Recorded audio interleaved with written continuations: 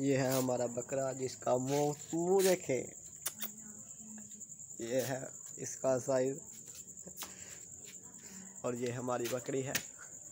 इसको आपको दिखाते चले, ये स्पोर्टी है। इसे हम पट्टे खिलाते हैं। रात में रात में इसे पा कनक के दाने।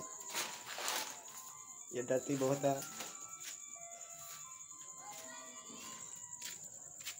ये बकरा बाई रहा हुआ है। बकरी से डरते हुए। ये है बकरी जो से डरा रही है।